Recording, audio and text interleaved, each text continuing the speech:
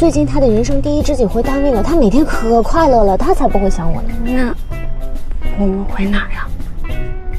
还是去他家算了。有什么问题？嗯，没有，没有问题。这两年，你做的比我预想的好得多。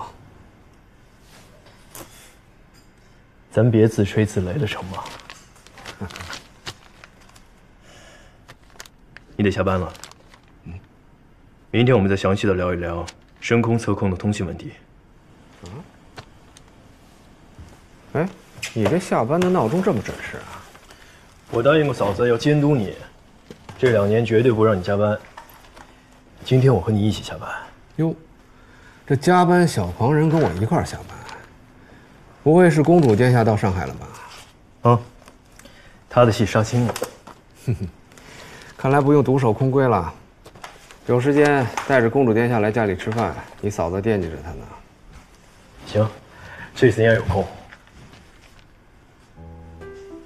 哎，我提醒你啊，殿下不喜欢这个称呼，你再这么叫他，他会发脾气。我又不怕他发脾气，冲我发脾气，好，你也别美。嫂子那边呢，她也会告状。我说你们两个都几岁呀？啊！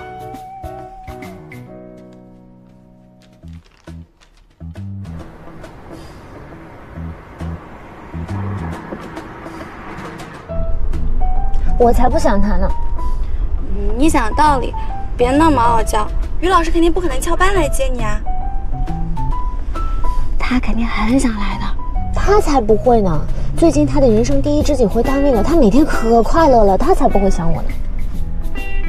那我们回哪儿呀？还是去他家算了。大夜戏赶杀青实在太累了，早上又要赶早班机，我要找一个近一点的地方补个觉。不用给我解释那么多，我都懂的。交通。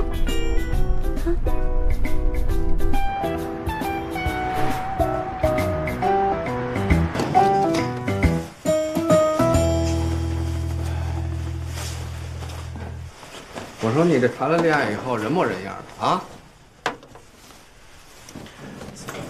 还是现在依着他喜欢吧，以后再说。哎，你是不是打算先结了婚，然后再原形毕露啊？你这可算是骗婚啊！哎，严重了啊！我们家女明星今年在上海的时间加起来一个月零十天，谁骗谁呀？这事儿得论证一下吧。